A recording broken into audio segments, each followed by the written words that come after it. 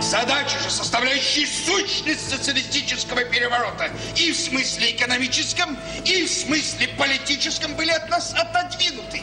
Мы к ним не имели возможности приступить надлежащим образом. В 83 году вы получили государственную премию Советского Союза за эту роль. Тут уже, наверное, все было ясно. Было приятно. Мы же 9 лет играли. До 91 -го года. До 91 -го года, по-моему. Полные залы были. Принимали, причем, знаете, как левые, так и правые. Этот спектакль. Но я понимаю, почему принимали, потому что, ну, хоть единственный какой-то глоток свободы. Человек живой, что человек орет, что человек э, недоволен, что человека предали. В этой роли я очень многое узнал, честно говоря. Я, вот вы правильно говорите, полит, полит э, информация моя.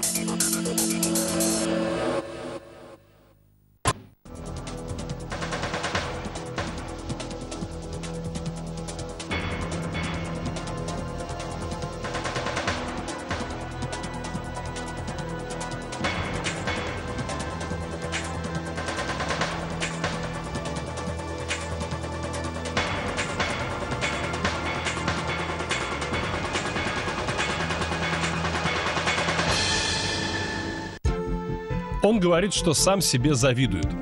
И в кино, и в театре ему невероятно везло с ролями. От разобранной на цитаты тетушки Чарли из Бразилии до чеховского Платонова из неоконченной пьесы для механического пианино. Председатель Союза театральных деятелей, художественный руководитель театра «Эцетера», актер и режиссер Александр Калягин, герой нашей сегодняшней программы «Художник и власть». Александр Александрович, вы помните 11 э, марта 82 года, если я не прав, вы меня поправите, когда это было, когда вы выходили на сцену, а вам аплодировал весь зал, а вам аплодировал Брежнев, и вы были лучшим Лениным Советского Союза. А вот вы можете вспомнить сейчас те ощущения, что вы испытывали? Дело в том, что такой многострадальный путь был этого спектакля, что и так он много прошел, этот спектакль. Ну, те, кто э, знает историю художественного театра, именно вот создание этого спектакля, они очень хорошо помнят, э, что это такое было. Мы репетировали пьесу, ее долго запрещали. Э, это было институт марксизма-ленинизма, присылал уйму всяких замечаний, и эти замечания, они учитывались Шатровым и Ефремовым, не учитывались, не в этом дело.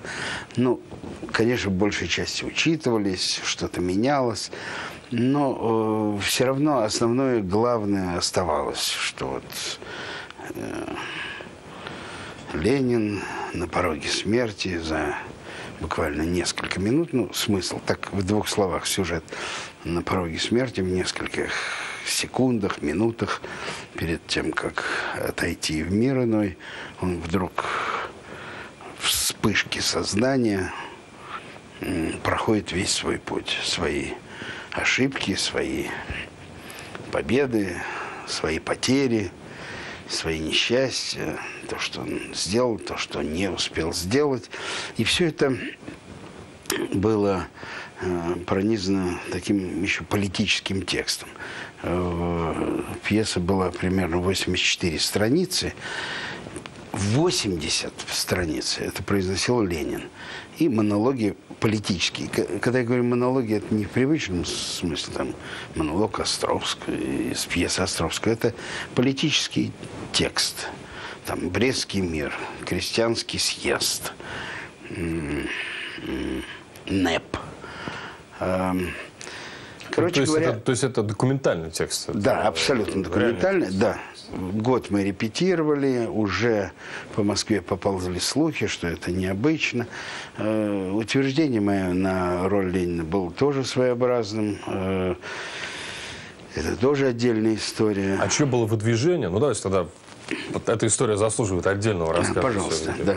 А, кто вас выдвинул? Вы сами себя предложили? Нет. Боже. Как потом проходило утверждение? Я не предлагал себя. Э, дело было очень, так сказать, ну, действительно было очень просто все. Э, эм, я вовсю снимался. У меня одна роль, другая роль в кино. В театре я был очень хорошо занят. Живой труп, э, Тартюф. э, э, Все это мы ниже подписавшиеся. Все, все было прекрасно. Ну, и вдруг, значит, идет по театру слух, что будет пьеса к не помню, какому-то съезду, к какой-то дате. Ну, тогда все делалось к дате. И э, ну, я с облегчением вздохнул, что я, по крайней мере, несколько месяцев буду свободен. И э, э, подхожу к доске э, распределения. Уже было написано распределение ролей. Эм, м, и написано Ленин, прочерк. Дальше идут совнарком весь э, распределен уже и так далее и тому подобное.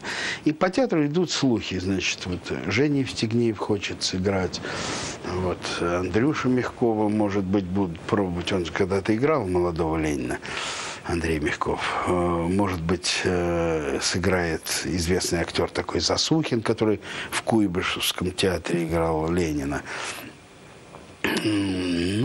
Слухи и слухи. Меня это абсолютно не касалось.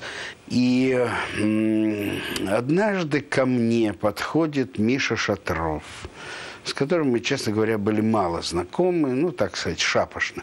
И подходит и говорит, э, я смотрел фильм «Допрос», вот мне бы хотелось, чтобы ты сыграл Ленина.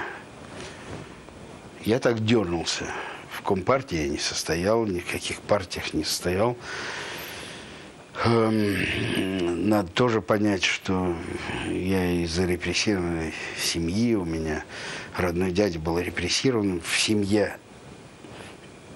Ну, как бы об этом говорилось тихо.